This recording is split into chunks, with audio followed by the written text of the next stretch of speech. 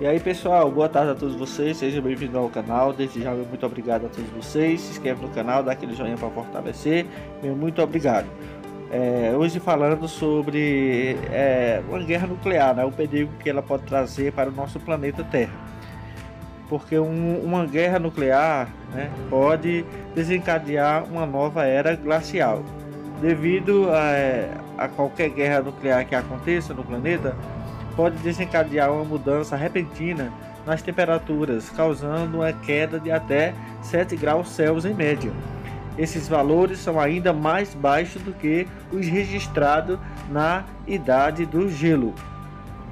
Um conflito com armas nucleares no planeta Terra, mesmo que seja uma guerra em escala regional, pode liberar tanta fumaça e fuligem na atmosfera superior que bloqueia a radiação solar e fazer com que as temperaturas globais diminuam significativamente.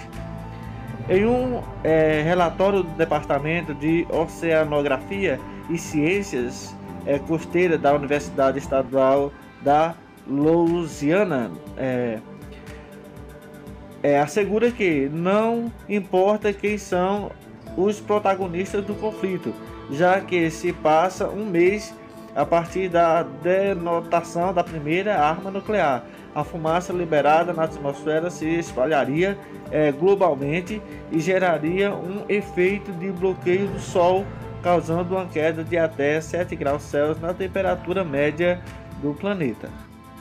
Então, o que aconteceria se é, bombas nucleares fossem usadas em uma guerra em larga escala? Né? para bombear é, cidades e áreas industriais. Seria uma catástrofe para o planeta Terra. Os resultados é, efeito de uma guerra assim, desse tipo seria de magnitude muito grande. Teria um efeito na atmosfera ainda pior do que a erupção de qualquer um dos supervulcões que ainda existe no planeta Terra. Mas a maior diferença entre os vulcões e é, as bombas nucleares é porque o, o vulcão é inevitável, né? não tem como evitar um vulcão. Mas uma guerra nuclear, ela sim pode ser evitada pelo homem. Né? Então, fica aí essa matéria, espero que vocês gostem.